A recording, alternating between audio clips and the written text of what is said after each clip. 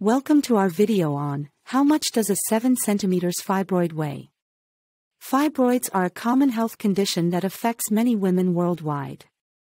They can cause several symptoms, including heavy periods, abdominal pain, and discomfort. If you or someone you know has been diagnosed with a fibroid, you may be wondering how much it weighs. In this video, we will explore the answer to that question and provide you with some valuable information on the topic. Firstly, let's understand what a fibroid is. Fibroids are non-cancerous growths that develop in the uterus. They can vary in size, and the size of the fibroid can determine its weight. On average, a 7 cm fibroid can weigh between 300 to 500 grams.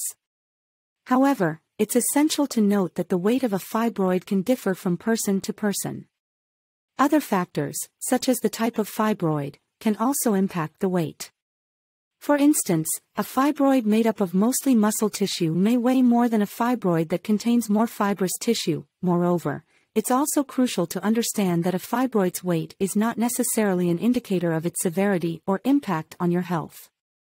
Even a small-sized fibroid can cause significant symptoms, while a larger one may not cause any symptoms at all.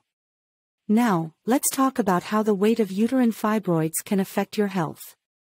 Large fibroids can cause heavy and prolonged menstrual bleeding, which can lead to anemia and fatigue.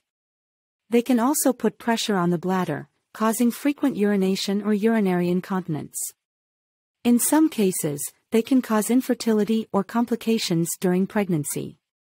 In conclusion, the weight of a 7 cm fibroid can vary depending on its location, density, and composition, but on average, it can weigh anywhere between 250 to 350 grams, which is equivalent to the weight of a medium-sized apple.